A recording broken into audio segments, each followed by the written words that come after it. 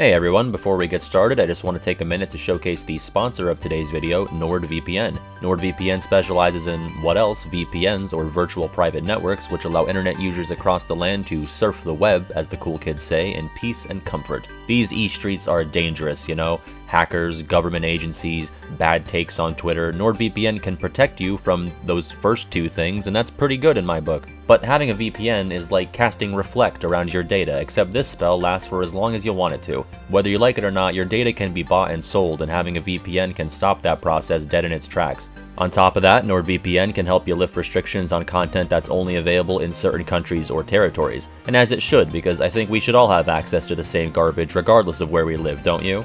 To further drive home my point, Kingdom Hearts characters who definitely have a VPN. Tron, for sure, the guy probably grew up with people who became VPNs. Master Xehanort, the man plans for every eventuality and you need virtual security if you're gonna do that. Characters who don't use VPNs, Ansem the Fool, and King Mickey. These guys thought that just because they opened a private window they were safe and their ISPs still collected their data and ruined their days. So let's succeed where they failed. Go on and visit nordvpn.com slash regularpat or use the code regularpat to get a two-year plan plus one additional month with, naturally, a hearty discount. Go do that while my jingle plays and I talk about boring intro stuff. It'll make me real happy and you won't regret it.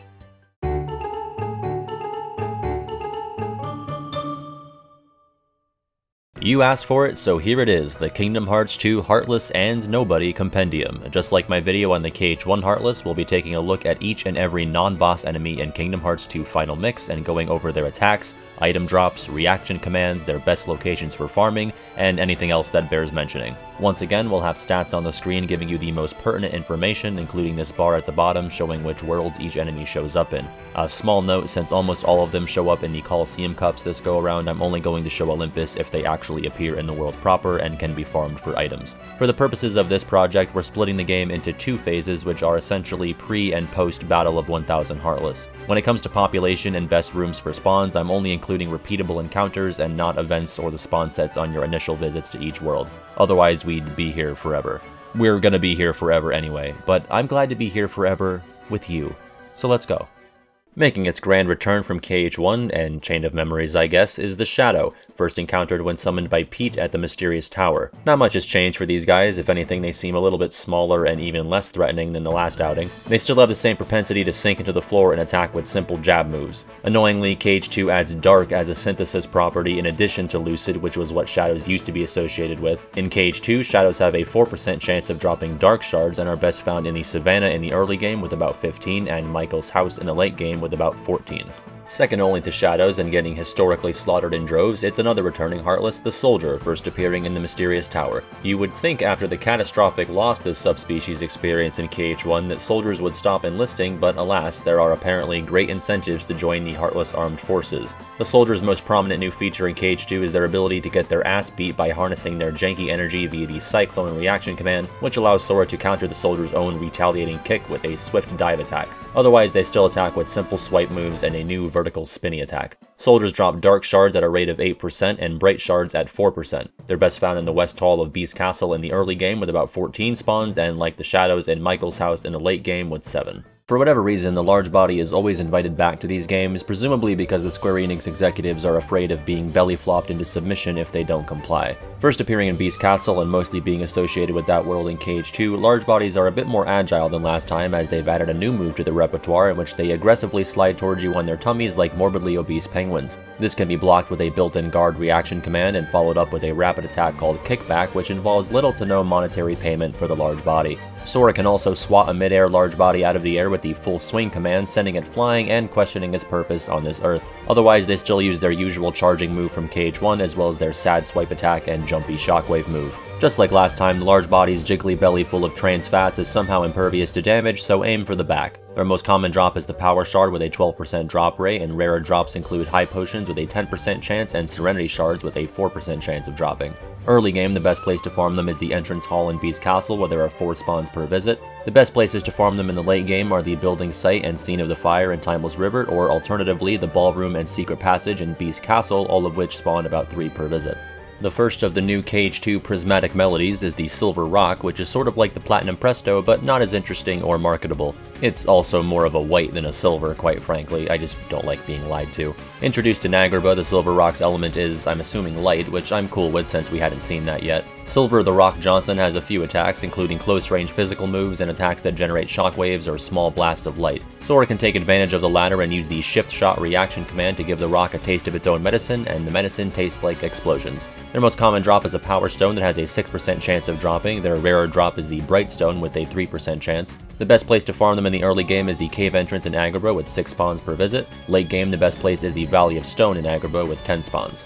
The next prismatic melody is the Emerald Blues, which cleverly gets away with just being a color twice. First appearing in Halloween Town in a much more muted color scheme, the Emerald Blues specializes in aero magic, which is again welcome as the KH1 members of the family lack this representation. This is building up to something. The Blues can attack with a basic aero spell, much like a shortened version of the spell that Sora could cast in KH1 before Naminé forgot to give that knowledge back to him. In addition to the occasional ramming attack, the Blues will also use a much larger tornado move when it's feeling threatened. Their most common drop is a Lightning Stone at a 10% chance, and their rarer drops are Energy Gems with a 4% chance. Their best pre-1000 Heartless spot is the Curly Hill in Halloween Town with 8 spawns. Late game, the best place to farm them is the Valley of Stone in Agrabah with 7 spawns per visit. The Emerald Blues has a Final Mix exclusive variant called the Spring Metal, which only appears in the Cavern of Remembrance. I should know I'm just going to group these variant Heartless with each other in this video, even though they appear later in the journal in their own group. The spring metal is stupid because spring isn't a color and nothing about the word metal invokes the element of air. The most common drop for these blue swirly boys are Remembrance Gems with a 10% chance. Their rarer drops are Serenity Gems with a 4% chance. They only appear in the Cavern's engine room with 15 spawns. Up next is a bastard who you and I both hate, the Crimson Jazz. First found in Radiant Garden immediately after your first visit to Space Paranoids, the Crimson Jazz sucks and is bad. I should say, I like Crimson as a color and I think Jazz is totally fine. You'd think that'd make a cool combination, but this pairing makes for a shitting pile of dick, and also fuck. First of all, we already had a fire guy. The Red Nocturne was doing its job just fine. This thing is redundant. The Crimson Jazz is just the Red Nocturne, but if it was a fat-ass monstrosity that's hell-bent on smothering you with both the fire and the flames. It can conjure up small airborne mines to surround you, as well as make these three big fireballs to chase after you. In addition, it can attack with a swingy kick move, as well as expel fiery fumes in a shockwave attack. And obviously don't use fire on it. The Crimson Jazzes have a 12% chance of dropping a Blazing Crystal, a 5% chance of dropping a Mega Ether, and a 4% chance of dropping a Serenity Stone. They only appear in the late game, the best place to farm them being the West Hall and Beast Castle, where 9 spawn. Inexplicably back from KH1 is the Air Pirate, which at least explicably first appears in Port Royal, probably wondering when and why Peter Pan got such a gritty reboot. Air Pirates are still martial arts enthusiasts, attacking with kicks and charging punches or uppercuts. It has a reaction command, which, full disclosure, I had never once used until this project because it has a pretty specific window and Air Pirates generally aren't that common. But once the Air Pirate starts up that classic move where he points and announces his intent to attack you, you can face it and then wait for it to get close to use the Air Twister reaction command in which you grab it by the foot and swing it around a bit. The Air Pirates have an 8% chance of dropping a Dark Crystal and a 4% chance of dropping a Bright Crystal. The best place to farm them early game is the town in Port Royal where 6 will spawn. Late game, the best place to farm them is either the checkpoint or the village cave in Land of Dragons where 3 spawn.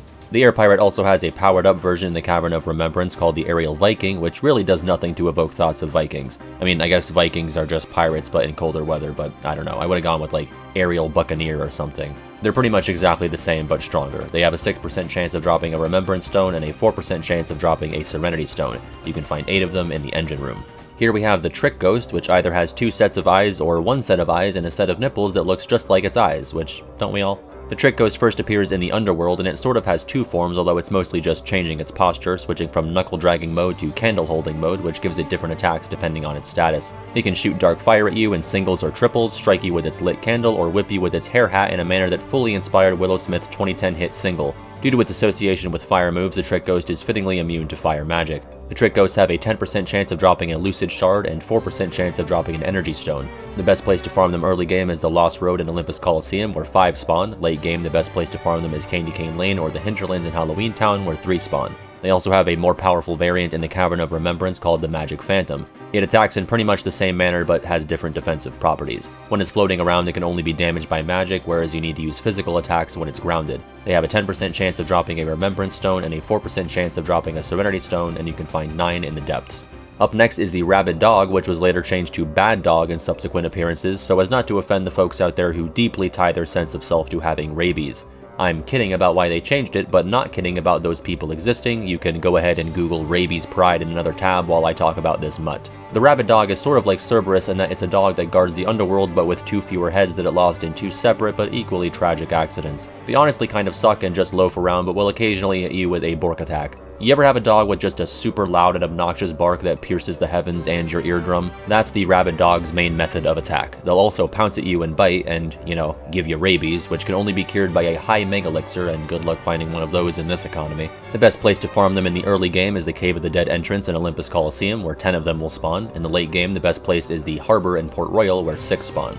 Here we have the Hook Bat, which is disappointingly not Captain Hook wielding a baseball instrument. The Hook Bat has no time or tolerance for any form of pretense. It is a bat with a hook, and nobody can say that they were not properly warned. Native to Beast Castle, the hook bat often appears in large groups so they don't feel lonely when they're slaughtered with ease. You can harness the power of their tears with the Bat Cry command to literally just grab one and beat the shit out of its family members with his own body. Sora's like, bro, I don't even need a Keyblade, I'm huge and you're a little baby bat. Bats can't do shit. This will come back to bite him in 2019 and not in the KH3 way. The Hookbat has a supersonic wave attack and a physical flippy tackly move, but it seriously doesn't matter because it was dead before you could notice either. Hookbats have a 6% chance of dropping a Frost Shard and a 3% chance of dropping a Bright Shard. Best place to farm them in the early game is the West Wing and Beast Castle where 14 of them will spawn. Late game the best place is the Sandswept Ruins in Agrabah with 20. The Hookbat also has a Cavern of Remembrance cousin called the Befuddler, that's 2 Fs 1D, which also describes my first semester of Algebra 2. Befuddle is a synonym for confuse, and I am indeed confused as to why the Hookbat thought being a different color would make it any more difficult to murder. They have a 6% chance of dropping a Remembrance Shard and a 3% chance of dropping a Serenity Shard. They can only be found in the depths, where 20 of them will spawn. Up next is this nerd, the Bookmaster, which is reading the script for the next part of the Crocodile timeline. The Bookmaster first appears during your return trip to Radiant Garden before your first Space Paranoids visit. Fittingly, it's sort of a successor to the Hollow Bastion-based wizard from KH1, just with an English major instead. When it's not spending its time looking for a job that puts its degree to use, the Bookmaster casts Fire, Blizzard, and Thunder magic, as well as attacking its enemies with a flurry of paper cuts. Unsurprisingly, the Bookmaster is immune to any non-magnet or reflect magic, so don't do that. I mean, you could. I can't stop you. The Bookmasters have a 10% chance of dropping a Lucid Gem, a 4% chance of dropping an Energy Crystal, and a 1% chance of dropping an Akashic Record. The best place to farm Bookmasters both pre- and post-Battle of a Thousand Heartless is the Borough and Radiant Garden, with 8 and 10 of them spawning respectively. The Bookmaster has a relative in the Cavern of Remembrance called the Rune Master. You would think from the name it's reading like an ancient scripture, but it's actually just looking at a cosmopolitan quiz about whether it's more cute or hot. They basically attack with more powerful versions of the Bookmaster's spells, and their book is also impervious to damage because knowledge is defense. They have a 10% chance of dropping a Remembrance Gem, a 4% chance of dropping a Serenity Gem, and a 1% chance of dropping an Akashic Record Plus. They're only encountered in the engine room where 9 of them will spawn. Next up is the Minute Bomb, although I think it's the Minute Bomb because it's small and Minute Bomb would be a misnomer considering its timer maxes out at 9 seconds. First appearing during the siege on Disney Castle, the Minute Bomb is an egg that someone smarter and more twisted stuck an explosive inside and then said, go nuts kid. Half of its attacks feature it counting down to its own death, and the other half is a pathetic headbutt move. Back in the day of Vanilla KH2, the Minute Bomb was the only way to relive the glory of rolling around in the dirt in KH1 as its self-destruct move opened up the opportunity to use the dodge roll reaction command to sabotage its suicide and escape the explosion. You can also cast fire on it to speed up the process of lighting its fuse. The Minute Bombs have a 6% chance of dropping a Blazing Shard and a 3% chance of dropping a Bright Shard. The best place to farm them early game is Lilliput in Timeless River where 12 of them will spawn. Late game the best place is the Valley of the Dead in Olympus where 9 will spawn. Next up is the Hammer Frame, which is pretty much just a Pokemon. Probably Steel type with a high attack stat, and uh, it evolves into a Jackhammer. Call me Game Freak, unless Square Enix feels like answering my emails first. The Hammer Frame first appears in Timeless River, where it'll attempt to flatten Lilliput in efforts to clear the way for a Walmart. If it wasn't abundantly clear, the Heartless are exclusively sponsored by Walmart. The frame attacks by creating shockwaves or just being generally hammerly, but, you know, just, just hit it. The hammer frames have a 10% chance of dropping a Blazing Shard and a 4% chance of dropping an Energy Stone. Best place to farm them early game is Mickey's house in Timeless River, where 6 of them will spawn. Late game, their best location is the Secret Passage in Beast Castle, where 6 will spawn. The hammer frame's cavern variant is called the Iron Hammer, a poorly fleshed out Marvel villain if I've ever heard one. Sorry for being redundant and saying poorly fleshed out and then Marvel villain in the same sentence. They have a 10% chance of dropping a Remembrance Shard and a 4% chance of dropping a Serenity Shard. The only place to farm them is the depths in the cavern where 15 of them will spawn. Introducing the Bulky Vendor, aka what if we turned a Chuck E. Cheese diversion into a Heartless? As the game states, when you enter a room containing one, the Bulky Vendor is a rare Heartless, and its only real function is dispensing out prizes non-violently. Like the White Mushrooms from KH1, these guys all have set locations and a handful of worlds where they may or may not spawn. These locations and worlds all post 1000 Heartless are the Checkpoint in the Land of Dragons, the West Hall at Beast Castle, the Cave of the Dead entrance in Olympus Coliseum, the Bazaar in Agrabah, and Candy Cane Lane in Halloween Town. If you enter one of these areas and the vendors don't show up, just try one of the other four until they do. The game will give you an information prompt in the top left, and you might even catch a glimpse of the vendors before they teleport away. In order to get them to reappear, you need to destroy or interact with some objects in the area. The fireworks at the checkpoint, the knight statues in the West Hall, the torches in the Cave of the Dead, the stalls in the bazaar, and the merry-go-round on Candy Cane Lane. Upon doing this, the bulky vendors will pop back up alongside a couple of bodyguard Heartless. Regardless of whether or not you defeat them, you can now use a reaction command on the vendors to get a prize. Upon reappearing, the vendor's HP drains on its own, and the command you can use on it depends on how much HP remains. Capsule prize from full health to 75%, a rare capsule from 74 to 50%, a limited capsule from 49 to 25%, and prime capsule from 24 to 1%. As you might expect, the lower the HP gets, the better the prizes are, but the vendor becomes faster and more slippery as time goes on.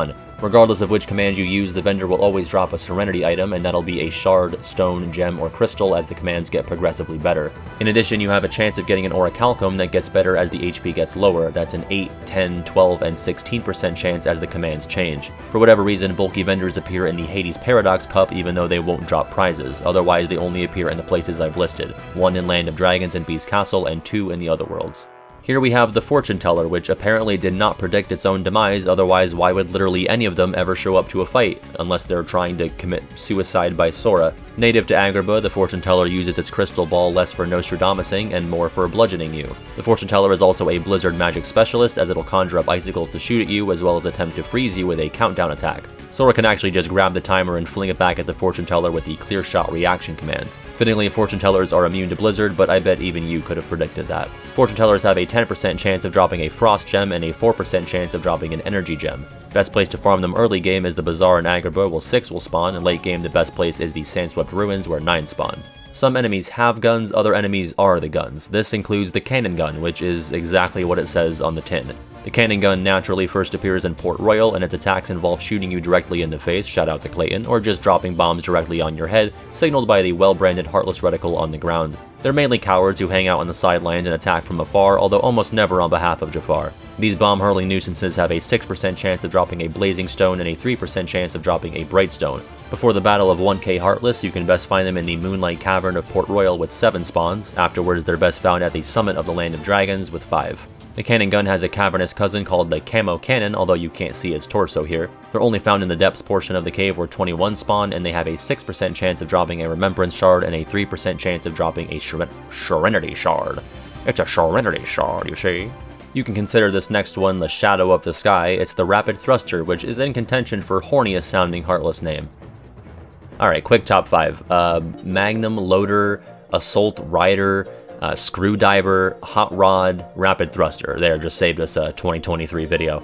Rapid thrusters consistently appear in swarms, either small ones in the field or big and literally endless ones during event battles like here in the Land of Dragons where you'll first encounter them. They attack with quick front-facing beak strikes as well as a slower backwards propeller move, but they're really not even that dangerous even when fighting hundreds at a time. Their case is not helped by the opportunity to use the Speed Trap reaction command followed by the Arrow Blade command to yeet a multitude of thrusters away from you. Rapid thrusters have a 4% chance of dropping lightning shards upon defeat, and their best early game location is the Village Cave in the Land of Dragons where there are 10. Later on, their most consistent spot is the Sandswept Ruins in Agrabah where there are 20, but they can potentially spawn in a huge swarm atop the peak in the Pride Lands, although that only happens 25% of the time when you enter the room. If you're lucky, there will be 226, and if not, there will be 1.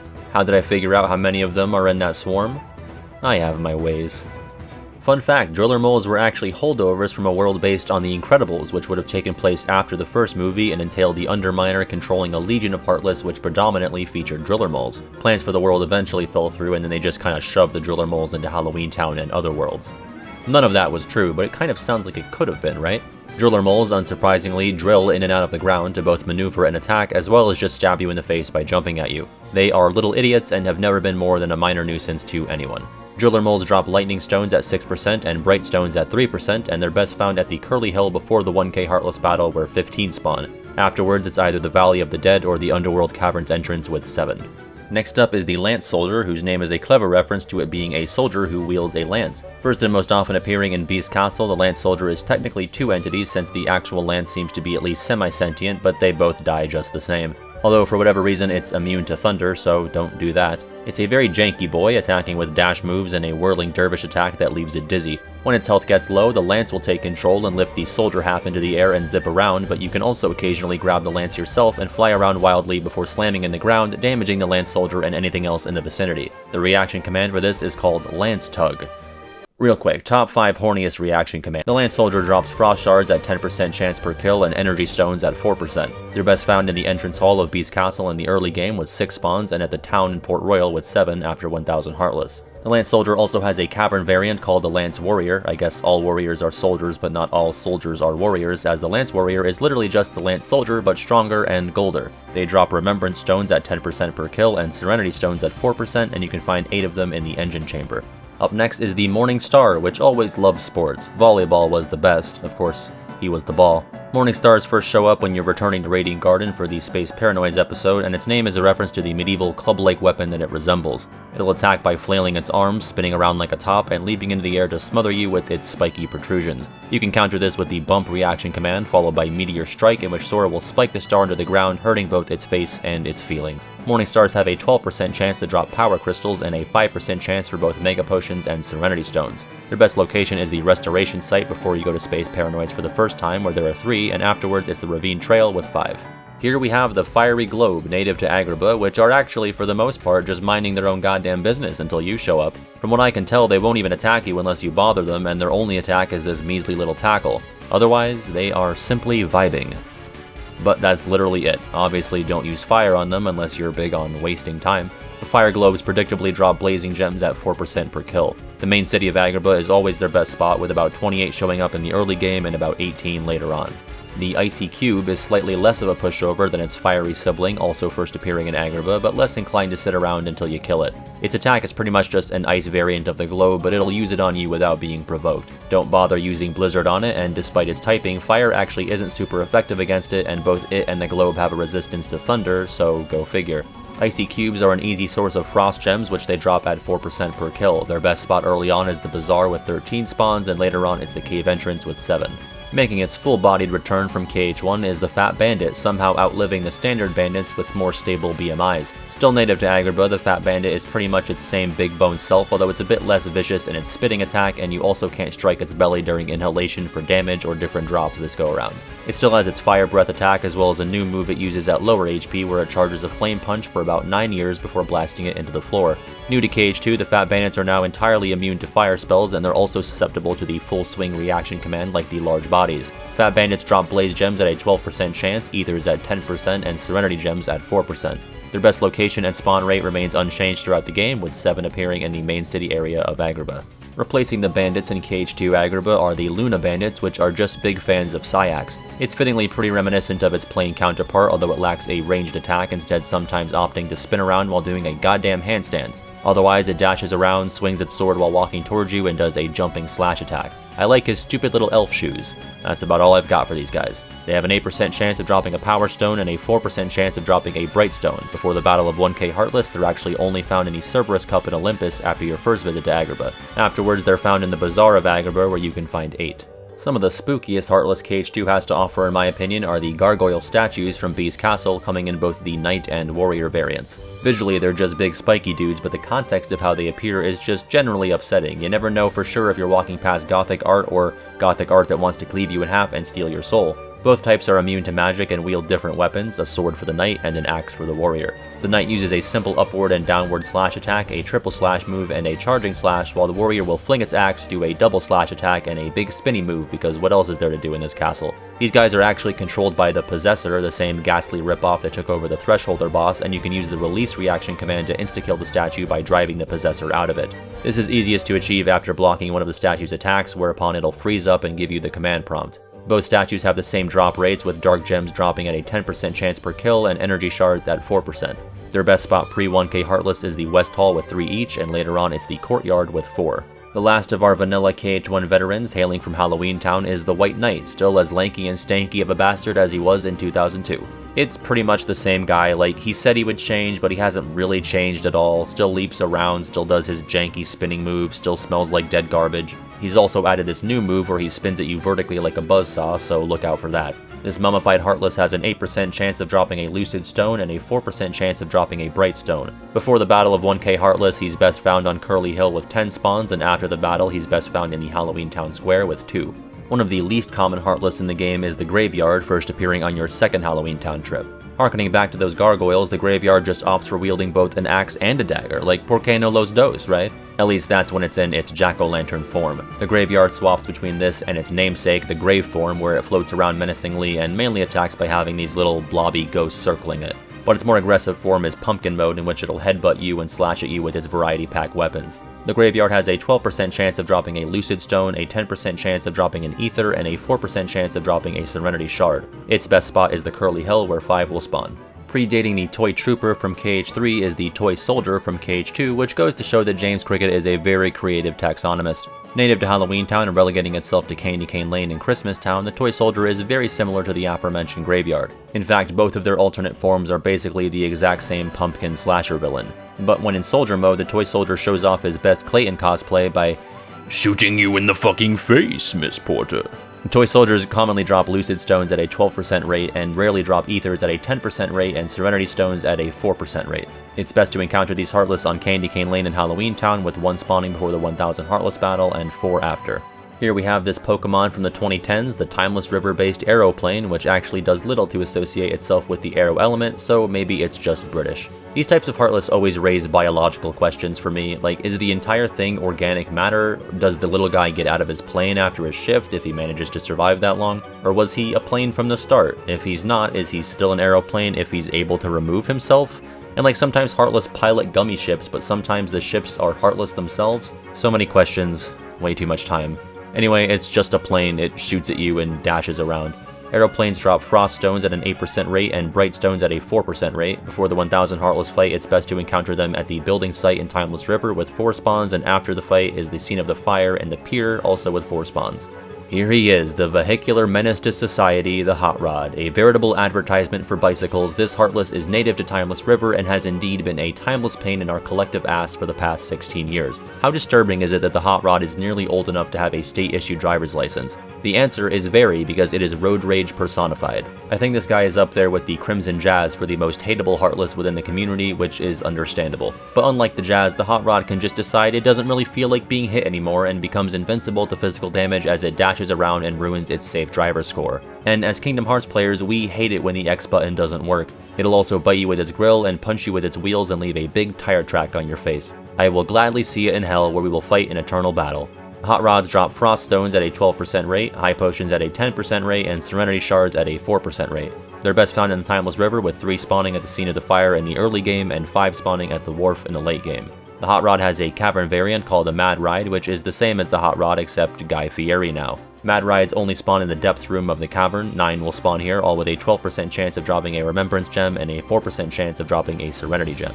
Next is this big centaur boy known as the Assault Rider, famous for its legs somehow supporting the rest of its body. Home to the Land of Dragons, there's talk that this Heartless was originally supposed to appear in KH1 but didn't fit in any of the worlds, although I literally can't find any sources to confirm that, so take it with a grain of salt. A grain of salt which is likely generated by me when I get trapped in this bastard's big windmill attack that would make Don Quixote quake in his boots. The rider also has a charge attack, a stab move with his big uh, stab stick, a slash attack, and a front-facing explosion move that it'll use at lower HP. Assault Riders have a 12% chance of dropping Dark Stones, a 10% chance of dropping High Potions, and a 4% chance of dropping Serenity Shards. They're best found in the Land of Dragons, with 4 spawning on the Mountain Trail and 7 spawning in the Antechamber before and after the 1000 Heartless fights, respectively.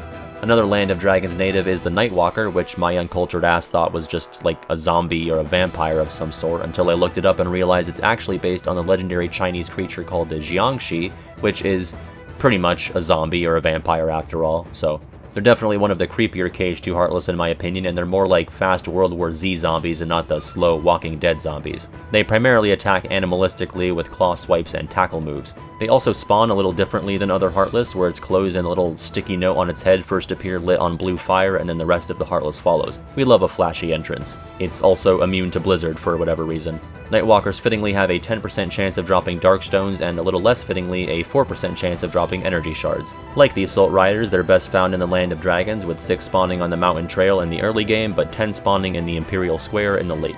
Check out this big doof. It's the Bolt Tower, built in honor of Disney's 2008 movie Bolt. I don't know, guys, what the fuck am I supposed to say about this? It's a big cartoon lightning rod, so, you know, don't cast thunder on it. It likes to appear alongside rapid thrusters and it first shows up in the Land of Dragons. Even though he is a big long boy, you need to aim for its head to deal any real damage. It attacks with a sad little headbutt, a large body-esque shockwave, a little flash from its antenna, and a move where it traps Sora in a laser thing. You can also use a reaction command against it called Bolt Reversal to reverse its bolt, also damaging other Heartless in the immediate area. Bolt towers drop lightning shards at a rate of 10% and energy shards at a rate of 4%. Three of these guys spawn at the checkpoint and in the Imperial Square in the Land of Dragons before the mid-game, and seven in the Savannah in the Pride Lands after. Look at this cool guy, it's the Magnum Loader. What a name. To its credit, it's probably the coolest unicyclist I can think of. These guys first appeared during the Light Cycle minigame in Space Paranoids, and they actually come in a variety of fun flavors, though only the red ones appear outside of the minigame. The name is apparently a mistranslation or a reference to an enemy called the Magna Roader from Final Fantasy VI, which is also a unicyclist and is now the coolest unicyclist I can think of. It attacks with a little backflip move and a decently fast charging attack. Sora can use the Quick Blade reaction command against it, which always seemed to be one of the less frequent ones in my experience, but the prompt will show up when it's charging up to attack you. Magnum Loaders have an 8% chance of dropping Lucid Gems and a 4% chance of dropping Bright Gems. They're best found in Space Paranoids before and after the 1000 Heartless fight, with 6 spawning in the data space and 10 on the Solar Sailor respectively. Next are the grunt enemies of Space Paranoids, the Strafer. These guys aren't super threatening, but they tend to appear in groups to beat the shit out of you on behalf of Sark and the MCP. As the name implies, they strafe around their prey and attack with electric moves, though they do take normal damage from thunder. They attack with a simple energy shot, a quick spinning move, and a homing ring attack. They also do headstands when you hit them. Strafers drop lightning crystals at an 8% rate and bright crystals at a 4% rate. They're best found in the canyon area of Space Paranoids with 9 spawning in the early game but only 8 spawning afterwards. One of the biggest and most dangerous non-boss Heartless in this game is the Devastator, this quadrupedal beast from Space Paranoids. The Purple Menace will switch between an airborne and grounded formation and has different attacks for each. In the air, it'll shoot 6 energy blasts at you from afar, swat at you with its rave glow sticks, fire off a big homing ball as it floats in place, charge at you with a low spinning attack, and discharge a dangerous amount of electricity as it transforms into its ground form. On land, it'll fire off 3 homing blasts and do a close-range battering attack. Quite a lot in its arsenal, as you can see. Devastators, being one of the strongest Heartless, have appropriately great drops, with Lightning Crystals dropping at a 12% rate, Elixirs at a 5% rate, and Serenity Stones at a 4% rate. Only one will spawn in the Io Tower hallway on the first Space Paranoids visit, but 5 on the Solar Sailor on subsequent visits. The Cavern of Remembrance variant, the Reckless, can only be found in the engine chamber with 9 spawning. They have a 12% chance of dropping Remembrance Crystals and a 4% chance of dropping Serenity Gems. The first of our Heartless native to the Pride Lands is the Living Bone, which will ambush you as soon as you enter the Elephant Graveyard on your first visit. Something about their name clarifying the fact that they're alive makes me uneasy. They sometimes appear with the Shaman Heartless riding atop them, making for a very sweet symbiotic relationship between the two. These dinosaur weirdos attack with a big glowy tailspin move, a simple bite attack, and a tantrum where it creates a few shockwaves. The living bones spawn without heads when accompanied by shamans, so you obviously won't be seeing it doing much biting when that's the case. Speaking of, when not being ridden by a shaman, you can often counter their bite attack with the Rodeo Reaction command, allowing you to, what else, ride around on the living bone, dealing damage to anything else in your path. You can then slam the living bone into the ground with the finishing Grand Cross reaction command. Geez, who put religion in my Kingdom Hearts 2 final mix? Living bones have a 12% chance of dropping frost crystals, a 5% chance of dropping elixirs, and a 4% chance of dropping serenity stones. They can best be found in the Pride Lands with 6 spawning in the savannah before the 1000 Heartless fight and 5 in the elephant graveyard afterwards. What if Rafiki but dark and edgy? Introducing the Shaman, another Pride Lands native. As a magic user, the Shaman is naturally resistant, although not immune to offensive magic attacks. As mentioned before, the Shaman can spawn on top of living bones and can use most of their attacks from atop their steed as well. They fight with simple scratch attacks and blue fire-based magic that they can spawn on top of you, as well as a move where they'll surround you in a ring of fire, sort of reminiscent of the Invisible signature move from KH1. When this happens, you can use the Dispel reaction command to both get rid of the flames and damage surrounding enemies. Lastly, the Shaman can reduce itself to just a mask and float around, dealing damage to the touch. Shamans have a 10% chance of dropping power gems, a 4% chance of dropping energy crystals, and a 1% chance of dropping the Shaman's Relic, one of the better non-synthesis weapons for Dolan you can get on a casual playthrough, especially before the 1000 Heartless fight. Speaking of which, 7 will spawn before the fight and 6 after in the Wastelands area of the Pride Lands. Necromancers are their Cavern of Remembrance variants, with 7 spawning in the depths. They have a 10% chance of dropping Remembrance Stones, a 4% chance of dropping Serenity Stones, and a 1% chance of dropping the Shaman's Relic Plus weapon, which is far worse given its availability. Up next is the Airborne Pugilist, the Aerial Knocker, the only Heartless to appear on pay-per-view. These guys are another Pride Lands Heartless because when I think of the Pride Lands, I think of parrots with boxing gloves. They attack by punching, if you could believe it, with 5 hit hook combos, a triple jab, and a big charging punch. They got a reaction command that Sora can only use in lion form called Rapid Blow, which can be used when the knocker is charging up its big punch. Aerial knockers have an 8% chance of dropping power gems and a 4% chance of dropping bright gems. After completing Pride Lands the first time, there's only one in the Wastelands, and after the 1000 Heartless fight, you can find four of them in the jungle. Their Cavern of Remembrance variants, the Aerial Champ, have an 8% chance of dropping Remembrance Stones and a 4% chance of dropping Serenity Stones. A whole 16 can be found in the Engine Chamber. Next are the three Heartless that debuted in Chain of Memories, returning for KH2. First is the Tornado Step, which first appears either during a post-Barbossa trip to Port Royal or during your second Olympus visit, whichever you do first. They attack with a jumping swipe move and a fittingly tornado-esque flying spin attack. The latter can be interrupted by using the Tornado Ride reaction command in which Sora will grab the enemy's whatever you want to call that, and fly around like a carnival ride that has passed zero inspections. This will damage both the Tornado Step and any nearby enemies. Tornado Steps have an 8% chance of dropping Blazing Stones and a 4% chance of dropping Bright Stones. They can best be found in Port Royal with 8 spawning in the Moonlight Nook in the early game and a whopping 14 in the Cave of Dead Passage in the late game. Next in the Com trio is the Crescendo, also known as the Loudmouth in subsequent appearances. It first appears on your second trip to Olympus Coliseum. I guess it's a horn. They made a Heartless out of a horn. It's arguably the Bard of the Heartless army. It's only got one actual attack where it swings itself at you, but it's better known for being able to heal both itself and other Heartless, so it's kind of a more dangerous Green Requiem in that way. You can take advantage of this move with the Healing Stomp reaction command, which heals both Sora and his party members. On top of the Crescendo's healing abilities, it can also even summon additional Heartless into the battle, so ideally you'll want to target these guys first. Crescendos will give you a 6% chance at a Blazing Crystal and a 3% chance of a Bright Crystal. Your best bet at finding them is in the Cave of the Dead Passage, where 24 can be fought. Our last com veteran is the Creeper plant, who isn't creepy, he's just lonely. They're first encountered on your first trip to Olympus Coliseum. The plants are as good as immobile as they're rooted in the ground and primarily attack by pelting three seeds at you from afar. It can also respond to your own attacks by sending its roots up to stab you in the feet. You can take advantage of that with the Root Ravager command, which allows Sora to uproot the Heartless, exposing its spaghetti legs as it hangs its head in sadness. Their only attack from now until you put it out of its misery is Vine Whip. Creeper plants have an 8% chance of dropping a Power Shard and a 4% chance at a Bright Shard. Before taking out 1000 Heartless, there are 4 at the Cave of the Dead entrance and the Valley of the Dead. Their best post 1k Heartless spot is the Hinterlands in Halloween Town. If you enter from Christmas Town, 2 will spawn, but 3 will spawn if you come from the graveyard. Go figure.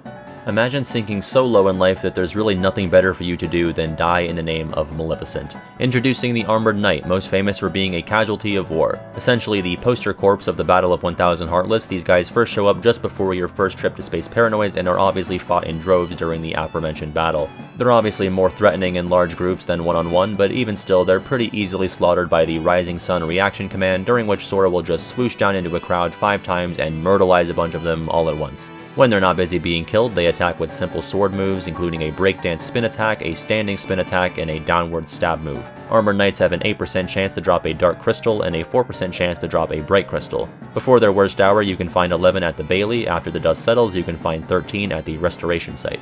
A surveillance camera! Here we have an accessory to the murders of the Armored Knights, that is, they served as additional murderees during the 1000 Heartless battle, the Surveillance Robot, retconned to be called Watchers in subsequent games. The robot floats around and attacks with its little razor blade piece. It also takes pot shots with two laser attacks, one where it summons a bunch of red ones and one where it sends two white ones directly at you. The latter move can be interrupted by using the snag command in which Sora grabs the robot. You could just leave it at that and release the little guy after a brief hug, or force it to murder its comrades with the Sparkle Ray follow-up command which releases a devastating 360 degree laser. Surveillance robots will give you a 6% chance at a lightning gem and a 3% chance at a bright gem. 14 can be found in the corridors before the battle and 6 at the restoration site afterwards. Returning from KH1 Final Mix is the Neo Shadow, which isn't really the mini-boss that it used to be, but the game does hold them back from you until after the 1000 Heartless battle, where they'll appear in almost every combat-focused world. Instead of the multi-layered mind games they played last time, Neo Shadows are more straightforward now, attacking with simple scratches, a horizontal buzzsaw attack, and that midair dive tackle from last time. They have potentially the most obscure reaction command in the game, and full disclosure, I've had this game since 2006 and platinumed it on PS3 and 4, and I don't think I'd ever used it. I spent a long time trying to get it and eventually just asked my friend Shane if he could get the footage, and it didn't take him much less time to get it himself. But here it is, Wind Dance, which I guess you have to use when a Neo Shadow is jumping towards you to close distance. It's not even that cool, but I'm willing to put money on it being the reaction command that most people complete last, if ever. Neo Shadows have an 8% chance to drop Lucid Crystals and a 4% chance to drop Bright Crystals. Their best spot is the Cave of the Dead Passage in Olympus with 14 spawns. Alright, now for the Mushroom 13, KH2's answer to the friendly Mushroom Heartless from KH1, although to call some of these friendly may be inaccurate considering some of the minigames they put you through. We'll just go from number 1 to 13.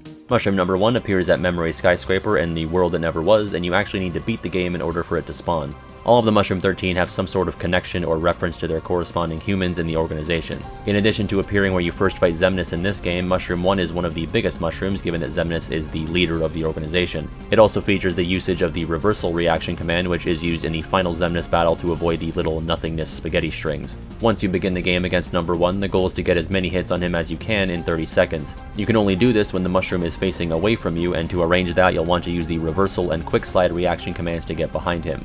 What complicates this is that the mushroom will sometimes reversal in response, faking you out and knocking you back, but most importantly, wasting your time. The key is to wait for the reversal command to change into quick slide, which has a smaller window but is much more useful at immobilizing the mushroom. Considering you want to deal as many hits as possible, I'd recommend going into final form for this. Also, for every mushroom but numbers 4 and 13, there are 6 ranks ranging from E to S based on your performance in each minigame and corresponding drop rates for each rank.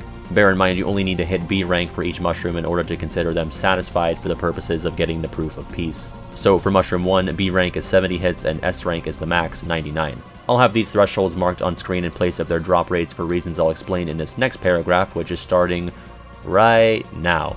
All of the Mushroom 13 have almost the exact same drop rates, so we'll just cover that now for the sake of brevity. First off, the odd-numbered mushrooms like number 1 here have a chance of dropping different staff weapons for Donald depending on how well you do. For the even-numbered mushrooms, it's shields for Goofy. I'm not going to bother putting up and talking through the percentages for each and every rank because we'd be here for way too long, so I instead suggest you check out the KH Wiki for the nitty-gritty on the stats here. But, general rule of thumb, the only way to guarantee drops for the best mushroom staff and shield, the premium and ultimate mushrooms respectively, is to complete each minigame at the S rank. There's only a 10% chance for those weapons at the A rank. Additionally, the mushrooms will always drop a tranquility item for each rank you clear and that stacks. So a shard for E rank, a stone for D rank, a gem for C, and crystals for B, A, and S. Okay, I think we're finally done laying the groundwork for these guys. Mushroom number 2 appears where you fight the experiment in Christmas Town after your second visit to the world. Just like Xigbar, Mushroom 2 attacks with projectiles which you'll need to deflect in order to satisfy it. The more you deflect and avoid, the better you do, so any sort of abilities like aerial dodge and reflect are going to be your friend here. The latter is probably your best bet so long as you can keep your MP high enough. For that, you might want to consider bringing elixirs or summoning Stitch to supply you with MP. Facing the mushroom is going to help increase the odds that you cleanly reflect its shots back at it, so keep that in mind. You'll want to dodge or deflect 80 shots for B rank and the max of 99 for S rank. Mushroom number 3 shows up after defeating Xaldin at the bridge in Beast's castle, fittingly they both fly around in this area. I guess number 3 being able to fly could be a nod to Xaldin's wind-based prowess. Number 3 glides around the bridge, shitting out these purple friendliness pellets. The goal is to collect as many of those as you can, which is simple at first until the mushroom starts flying away from you at light speed. Your best bet will be to equip as many draw abilities as possible, including through the Follow the Wind keychain. Coincidentally, the keychain with the word wind in it is the key to beating the Xaldin mushroom. Using Quick Run or your own glide skill can also help you in keeping up with the mushroom's pace. You'll need to collect 450 orbs for B rank and 500 for S. Number 4, the Vexen Mushroom appears at the Palace Gate in the Land of Dragons after your first visit. Like its nobody counterpart, number 4 employs the usage of replicas through the bulk of the fighting for it. For whatever reason, the game doesn't really use the 6 rank system for this mushroom, instead offering 4 different performance grades for Mushroom 4. So you'll get the best prizes for clearing the minimum requirement for satisfying number 4, which is hitting 85 of its clones without getting hit, although you can still very well hit all 100 of them, but for no added benefit. Since you need to not only hit as many replicas as possible, but also avoid being touched even once, Wisdom Form is a natural answer to this dilemma. The quick shot Sora attacks with in Wisdom Form can take care of the mushrooms at a distance, and equipping the Fatal Crest keychain can apply Berserk Charge during your MP charge time, meaning you won't have to worry about that slower combo finisher so long as you keep your MP pink by curing as often as possible. Meanwhile, as you're pelting your fungal pursuers, just keep skating away from them in a circle and you should clear the requirement no problem. Number 5 is the biggest of the Mushroom 13, a reference to Lexaeus' size and physical strength. It appears in the treasure room in Agrabah's Cave of Wonders after the first visit. Despite its girth, number 5 is potentially the easiest mushroom to satisfy. The goal is to reduce its HP to zero quicker than it's able to regenerate it back. There are methods to do okay at this throughout the game, but you're best off just waiting until you get Final Form, throwing on Bond of Flame, and using Firaga on it to melt its HP. Dropping the bar to zero within 10 seconds gets you B rank, and doing it in 3 seconds or less nets you S rank. Mushroom number 6 can be found in the Underworld Caverns atrium after your first visit. As the Zexion mushroom, this guy also makes use of clones and illusions in his minigame. Not unlike the number 4 mushroom, the goal here is to defeat all of the clones as quickly as possible, though you don't have to worry about them fighting back this time. Mushrooms will spawn in different formations, but fittingly always in a group of 6. These various formations kinda call for different tactics, but honestly, Final Form and Thunder is gonna be an easy go-to method to dispatch these guys. Getting rid of all of the Cloak Schemers within 45 seconds will get you B rank, while doing so in 31 seconds or less will get you S rank.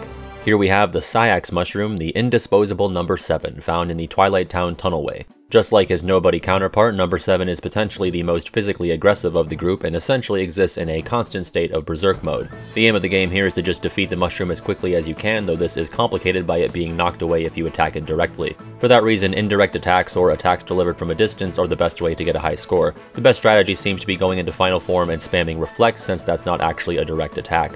Doing this will allow you to defeat the mushroom pretty quickly. The required score for B rank is 10 seconds or less, and for S rank it's 3 seconds or less. And now for the dreaded Mushroom number 8, the counterpart to fan-favorite Axel is easily the most universally despised member of the Mushroom 13. Located outside the mysterious tower, number 8 is basically just the rare truffle from KH1, except this time Neverland's endless super glide isn't here to help you. The more times you're able to bop it into the air without letting it touch the ground, the better your rank will be. Sort of similar to the problem with Mushroom number 4, going for simple combos here will ruin your attempt since Sora's finishers take too long to consistently keep the mushroom airborne. So again, the key here is to make your combo endless with Berserk Charge and staying mindful of keeping your MP bar pink. Naturally, taking off any MP haste abilities will make this easier to accomplish. On top of that, having the longest Keyblade possible will help extend your reach, and Fenrir is your best option for that. If you can manage to juggle the little bastard 85 times without appearing on the local news, you'll satisfy number 8. For S rank, you'll need to do it 99 times. Have fun with that. Mushroom number 9 appears at Radiant Gardens Castle Gate after the Battle of 1000 Heartless. As the designated Demyx mushroom, it appears at the same place you fought Demyx for the second and final time, and you could argue its propensity to spin around could be a reference to Demyx's association with music and dance. This time, the goal is to keep the mushroom spinning by hitting it, of course taking too much time between your hits will cause it to stop spinning. Once again, Berserk Charge is going to be useful in keeping your combo endless while your MP is recharging. Going Final Form also can't hurt since you'll be able to close any distance you create a little bit faster. For rank B, you'll need to hit it 75 times, and for rank S, it'll be another 99. Next up is Mushroom 10 or X, some say Kai, but the meaning is the same. Number 10, the Luxord mushroom, fittingly appears in Port Royal at Moonlight Nook after the second visit. Just like in Luxord's boss fight, this mushroom shuffles around amongst a bunch of fakes. In that way, it's also pretty reminiscent of the Black Ballad Heartless from KH1. You need to defeat the real one among the fake clones as quickly as possible. I'd say it's easier to keep track of the genuine item this time around, but I won't be mad at you if you decide to be a cheeseball and repeatedly pause the game during the shuffle. I would. Shane didn't because he's not a cheeseball, and that's fine, we still get along. Regardless of your cheese factor, using Final Form to dish out as much damage as possible to the real mushroom will be key in lowering its HP in the fastest manner. B rank is achieved by doing this in 55 seconds, and S rank is within 35 seconds. Mushroom number 11 shows up in Timeless River at the waterway after you've dealt with all the Pete-related shenanigans. I guess the Marluxia connection here is that they both utilize a number counter, except this time the numbers are above his head instead of yours. In a fascinating shakeup, the goal here is to hit the mushroom a bunch of times very quickly. Look, I'm sorry, it's been a very long script. Best bet for this guy is going Wisdom form. You can get pretty far just shooting him from a reasonable distance even without any special ability preparation, but I figure going Berserk Charge yet again to nullify those finishing shots might make the process a little bit faster. You'll want to drop his overhead counter to 0 within 19 seconds to get B rank and within 15 seconds for S. The last of the actual minigame mushrooms is number 12, located outside the old mansion in Twilight Town. This mushroom likes to create clones of itself and teleport around, which is reminiscent of Larxene's same habit from her boss fights. Number 12 will multiply and float around the structures in the mansion's front yard, and it's your job to hit as many of them as you can within a minute. If you'd believe it, going into Wisdom form and taking advantage of Berserk Charge is a good way to keep constant pressure on the mushroom clones. Just slide around the center of the area and spin your camera around to keep track of where the next mushroom is going to pop up. Defeating 40 of the clones within the time limit will net you B rank, and that's 50 clones for S rank. And our last Heartless in this compendium is Mushroom number 13, which is truly the friendliest of the friendly Heartless, as it literally just shows up to give you stuff and then kindly fucks off. It only appears one time in the Great Maw at Radiant Garden after the other 12 mushrooms have been sufficiently impressed by your degree of patience. Once you've beaten the game, any and all mushrooms that you've managed to satisfy will appear here, and if you've completed each minigame, the Roxas Shroom himself will descend via a beam of light and gift you the winner's proof keychain, as well as the proof of peace, which will be reflected by Sora either gaining or changing the color of his Burger King crown. Alright, that's enough of the Heartless, time for the much more frightening menaces introduced in KH2. Finally, content about the undead pirates from Port Royal. There are three different variants, all of which are based on characters from the movie, and they appear on both of your story visits to Port Royal. Pirate A here is based on Bosun, Pirate B on Twig, and Pirate C on Jacoby. Bosun dual wields hatchets and can be evaded with the back shuffle reaction command and then high counter, which deals a lot of damage. Twig here carries a big crossbow, or a gun if you live in Japan, and he can be countered with the return fire reaction command in which Sora simply just deflects his bullets back at him. Lastly, Jacoby lacks a reaction command and instead fights by throwing bombs and wielding a dagger. As the game makes abundantly clear, none of these guys can be damaged unless they're exposed to the moonlight. When they are though, offensive magic is particularly effective against them. Blizzard will freeze them in place, thunder will make them all jittery, and fire will send them meandering about as their bones smoke up the battlefield. These guys all actually have different drop rates as well. Bosun has a 10% chance to drop a potion, Twig has a 10% chance to drop an ether, and Jacoby has a 5% chance to drop a high potion. Alright, now on to the nobodies. The first of either Heartless or Nobody we see in KH2 is the Dusk, these slippery, zippery creeps who also apparently serve as some form of punishment within the organization as Axel hints that human members can be turned into these things for being disobedient. Gotta say, that alone would keep me on the straight and narrow because a life as a Dusk does not seem like a life worth living. It does seem like they may have kept some sort of communication ability if the prologue is anything to go by, or the manga. A Dusk first shows up on the first day in the simulated Twilight Town when the gang tries to figure out why they're have been stolen, although you can't actually damage it until later. The Dusks move like gross little snakes wearing jumpsuits and attack with feet strikes and this upside down air walking hand thing. You can pretty frequently use the reversal command to outmaneuver them, momentarily causing them to enter a visible state of distress and confusion. I should mention outside of event battles you can't actually fight any nobodies in the field until after your second visit to each world. Most don't appear at all until you visit whichever world their corresponding organization member is meddling in so all of their best and repeatable farming locations are going to be labeled as post-1000 Heartless. In the case of the Dusk, their best spot is the underground concourse in Twilight Town where 9 will spawn. They've got a 10% chance of dropping Twilight Shards obligatory Aw Man. While the Dusk is the first nobody we're introduced to, they're more akin to the Soldier if we're doing comparisons to the Heartless. The true shadow of the Nobody army is the Creeper, and while it's definitely the least dangerous of the species, it's still more of a threat than the Shadows. That being said, it was cursed with an unfortunate body structure, and they're relegated to sorta just awkwardly crawling around. These guys first appear during the Twilight Thorn boss battle at the end of the Dive to the Heart. Just like the Dusk, the Creeper is a master contortionist as it can change into swords, a shield, a mask, and a spear. Their most frequent attacks include transforming into a sword and swiping wildly or stabbing into the ground in their spear form. They tend to show up in large groups, and they're by far the most common nobody and one of the most frequent spawns in the game, second only to rapid thrusters. Creepers have an 8% chance of dropping dense shards. These guys are perfect for leveling up final form due to their frequency and their low HP, and the best spot to do this is Naught's Skyway in the world it never was, where 33 of them will spawn. Next up is the Dragoon, the only known entities who have Xaldin as their favorite organization member. I mean, even that might not be true, they just they just work for the guy. They might be Marluxia fans, there's really no way of knowing. The Dragoons first appeared during the second visit to Beast Castle. Also, from here on out, all the nobodies will be associated with an actual organization member who lords over them. They're also all named after Final Fantasy job classes. In this case, the Dragoon is named after the group of the same name that first appeared in Final Fantasy II and in 3 as a job. They're typically powerful, lance-wielding characters, and the nobodies fit right in with that. Just like Xaldin, they dart around and attack by swinging their lances and stabbing it into the ground, which is actually how they initially spawn in. And again, like in the battle against Xaldin, you can stock up on learn reaction commands and then use them with the jump command, plunging down onto the Dragoons to see how they like it. The most likely answer is that they do not like it as it deals a great deal of damage. Dragoons drop dense shards at a 12% chance and they also have a rare drop of the Nobody Lance for Donald with a 1% chance. Best spot to find Dragoons is either the Star Chamber in the Mysterious Tower where there are 4, or the Transport to Remembrance though different batches of Nobodies may spawn there in its place. Next are the Assassins, controlled by who else but the organization's very own contract killer, Axel. Much like Axel's early motives, it's very unclear what the exact fuck the assassin is supposed to be. I'm just gonna settle on Spiky Guy. They first appeared during the last day in the simulated Twilight Town. The assassins are sort of reminiscent of shadows in that they have the ability to sink into the ground, but they're like semi-vulnerable in this form, so it's kind of a half-assed attempt. Sorry, half-ass-assed. In this state, your attacks will phase right through it, but if its spines are peeking up from the floor high enough, you can hit them and pull it out of its subterranean state. They mainly attack by whipping their spiny arms at you either rapidly from under the floor or with one big swipe when above ground. When their HP gets low enough, they'll also do a self-destruct move. The assassins have a reaction command which is exclusive to Sora because they didn't animate Roxas doing it, called Failsafe, in which Sora grabs the assassin and yeets it into the ground before it can pull off its self-destruct move. Assassins drop Twilight Gems at a 12% chance and are best farmed at Ruin and Creation's Passage where there are 12. Up next are the minions controlled by Roxas, the Samurais, which for whatever reason first appear during the event where you protect the gate on the first Radiant Garden visit. Just like Roxas, they fittingly wield two swords. Unsurprisingly, they exclusively use these twin blades to attack you, either with a flurry of slashes or sudden and strong swipes. When the samurai kneels, you have the opportunity to use Duel Stance, one of my favorite reaction commands in the game. The world around you freezes and one of the four command menu slots will randomly display the end for a short window of time. If you get there first, you kill the samurai. If it moves quicker, you get a blade in the face. Samurais have a 12% chance of dropping dense gems and they're most frequent at Naught's Skyway in the world it never was, where 7 will spawn.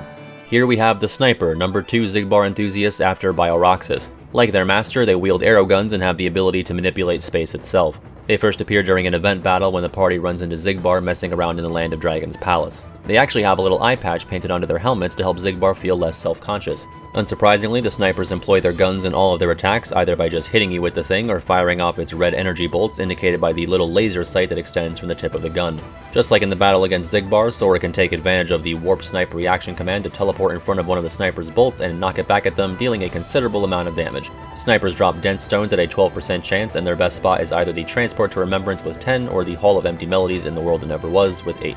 Without a doubt, the Grunt Nobody with the lowest approval rating is the Dancer, which serves as backups for Demyx during his concerts. They first show up after your first Space Paranoids trip on your way to the Battle of 1000 Heartless. I'd wager their unpopularity stems from their ability to just grab Sora and non-consensually dance with him, offering an in-battle cutscene and no way out. This is telegraphed by the Dancer's hands glowing, so you know, run away or cast some magic before it gets its dirty mitts on you.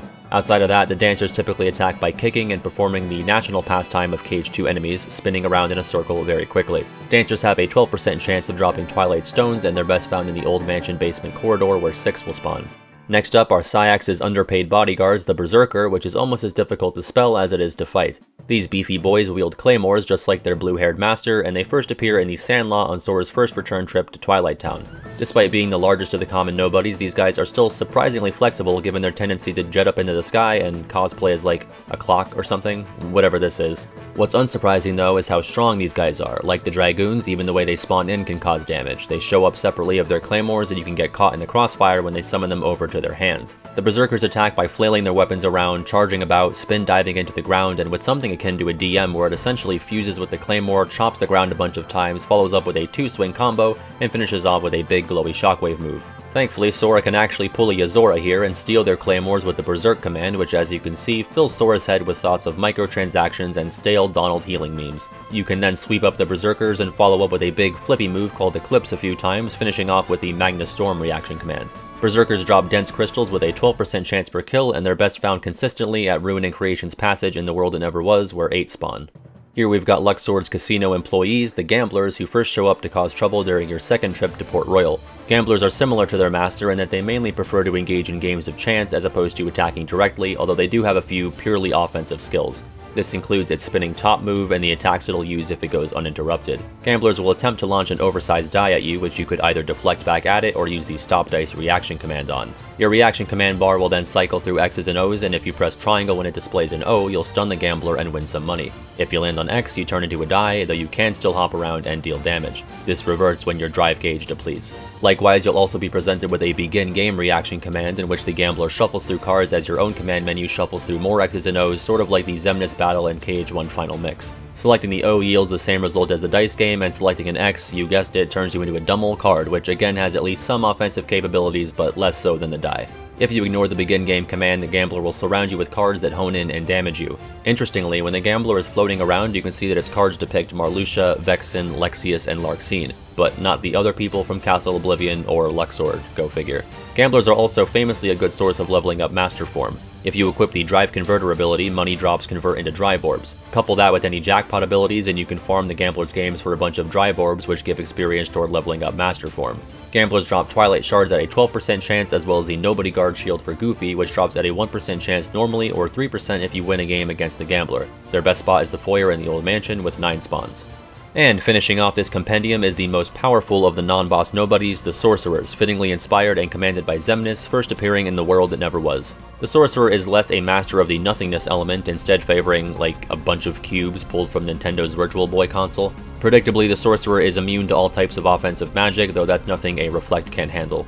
The Sorcerers attack by summoning these angry red squares and surrounding Sora in this U-shaped formation. They'll also retaliate by just clubbing the shit out of you with them.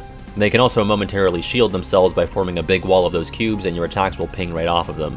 But that's about it, kind of underwhelming for something this rare and regal. Sorcerers drop the coveted Twilight Crystal at a 12% chance per kill, and they're best found either in the Transport to Remembrance if their spawn set is active with 6 spawns, or the Naught's Approach in their hometown with 2 spawns.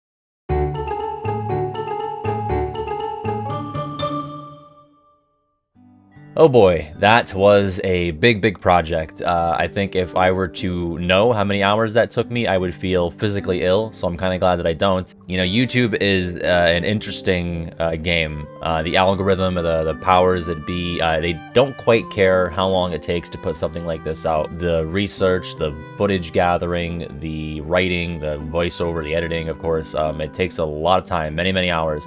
Um, and that's not always reflected, unfortunately, in um, the analytics side of things. That's why I'm asking if you are so inclined. Um, if you'd like, you can pledge on Patreon. There are three different tiers. Uh, my patrons are definitely a huge reason uh, as to why I'm able to do this. Um, you know, I'm, I'm, going full force into this right now, full effort. This is a full-time thing right now. Listen, I want to keep doing this stuff. I'm going to keep doing it so long as I'm able to. Uh, speaking of, I had a couple of my patrons and Discord mods help me out with the script on this. They mostly took um, the like statistics and kind of converted it into sentence format, just saving me a lot of time there. So I want to thank Corin, Fourth Strongest, Frosty, Lighty, Lucky, and Power Player for their help. And of course, thank you, Shane, again, for getting the footage of the parts that I just, I really want to get footage for. Alright guys, thank you so much for watching. Uh, I'm going to kick it to some fan art and the lovely outro arranged by Joey DePerry.